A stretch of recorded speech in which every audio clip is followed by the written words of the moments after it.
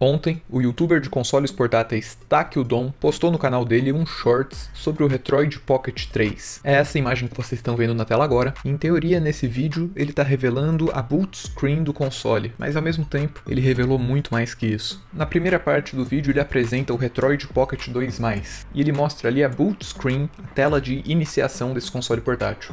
Logo em seguida, ele corta e mostra a tela de iniciação do Retroid Pocket 3 que é bem bonita, bem interessante. Mas se a gente voltar para a primeira parte do vídeo, dá para ver ali embaixo um console com botões triângulo, bolinha, X e provavelmente um quadrado que está cortado. Essa é a configuração de botões do PlayStation. Até agora nenhum console portátil desses da China tem essa configuração de botões e até onde a gente sabe, uma coisa ou outra de PlayStation 2 ele já é capaz de rodar, de acordo com essa imagem de gameplay postado pelo próprio TAC no Discord dele. Então rodar PlayStation 2 num console portátil com um botão triângulo, bolinha, X e quadrado, no preço previsto que ele está tendo de 150 dólares, vai tornar ele o campeão dos consoles portáteis custo-benefício de 2022. Peace. Nesse mesmo frame ali em cima também tem um console virado, é o Retroid Pocket 3 também. A gente consegue observar ali o parafuso dele, provavelmente o botão de ligar e desligar, e ali em cima os botões de gatilho, que parecem ser muito confortáveis. O botão de gatilho ele parece ser bem grande e ergonômico, tô muito curioso para sentir ele na minha mão. Além disso, como a gente já sabia, o console ele é bem arredondado, parece que vai ser mais confortável na mão do que o Retroid Pocket 2+, que não é o fim do mundo, mas realmente ele é bem quadradão. Na segunda parte do vídeo é a boot screen. Eu gostei do design design. Não tenho certeza se tem algum console clássico que usava esse design, porque eu gosto muito de como o Retroid Pocket 2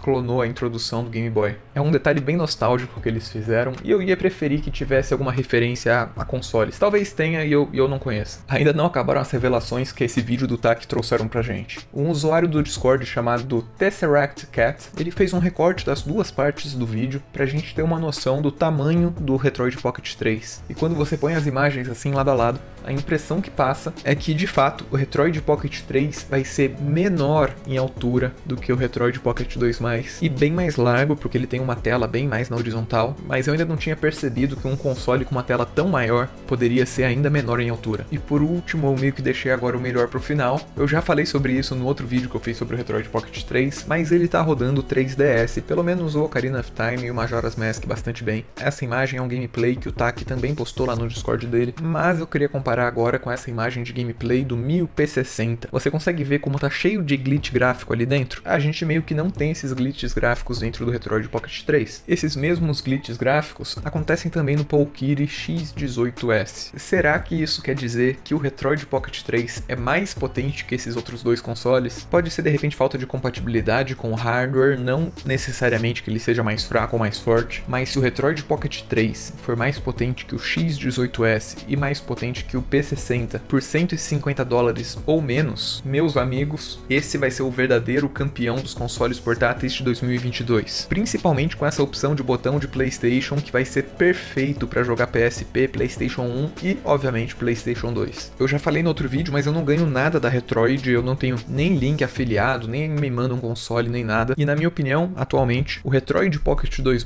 é o campeão do custo-benefício e da facilidade de uso para alguém que está chegando no mundo dos consoles consoles portáteis agora. E eu imagino que eles vão entregar a mesma coisa aqui no Retroid Pocket 3. Eu tô muito animado por ele, eu vou comprar assim que ele sair na pré-venda. Se você quer ficar por dentro das novidades sobre ele, se inscreve aqui no canal, clica no sino, me conta aqui nos comentários se você percebeu algo a mais nesse vídeo do TAC que eu não percebi e quais suas percepções sobre o Retroid Pocket 3. Lembra de deixar aquele like, muito obrigado por fazer parte dessa jornada. Meu nome é Victor Yemini, como sempre. Eu volto no instante.